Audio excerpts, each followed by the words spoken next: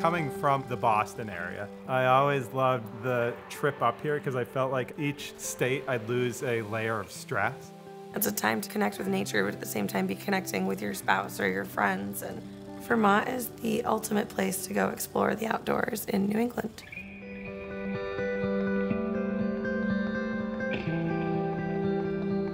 Being the valley, you do have mountains on both sides. And then you're going down 100, and everything is very like quaint. But everything's there. You have your shops, you have your dining, you have your ski resort.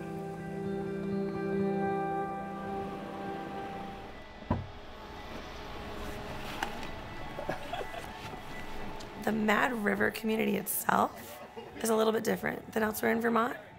With all the amazing outdoor activities that you can do, the people are what bring us up here more than almost anything else.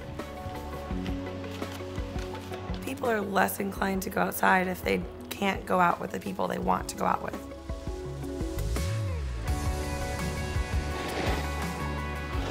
Vermont Adaptive has a community that is very unique.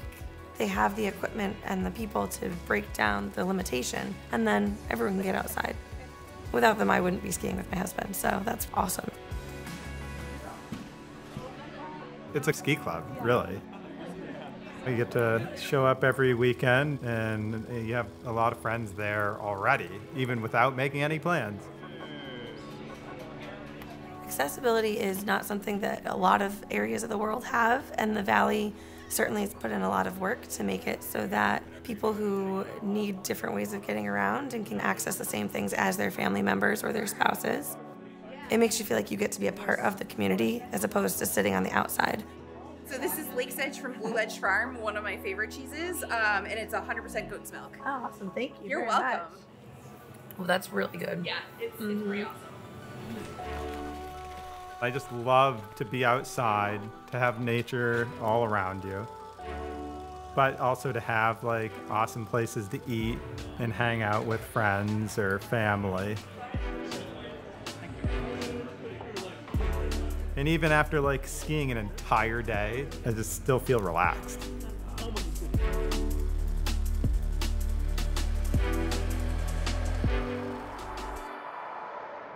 There's something for everyone, whether it's you've got kids you have to entertain or you're just a couple who wants to get out for the night. All of that is in the valley without driving over a mountain pass. Oh, you definitely chose right.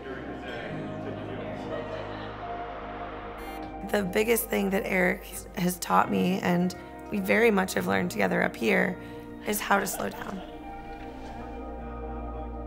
In the valley, like you could stop every 10 feet and look at a new beautiful scene or something that's just naturally existing in front of you. What Em brought me is an adventure buddy, a lifelong Thanks. adventure buddy. I'll take it. That's a high compliment. Thank you.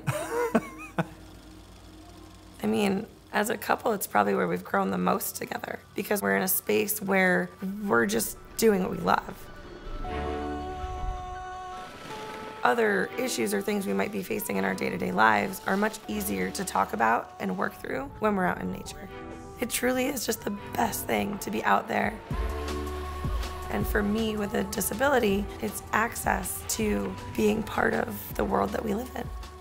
When I look over at him skiing, there's just a giant grin, and the grin doesn't go away. It's like, this is our time. We get to go out, do some things together. And that's why we're here. The valley's just home.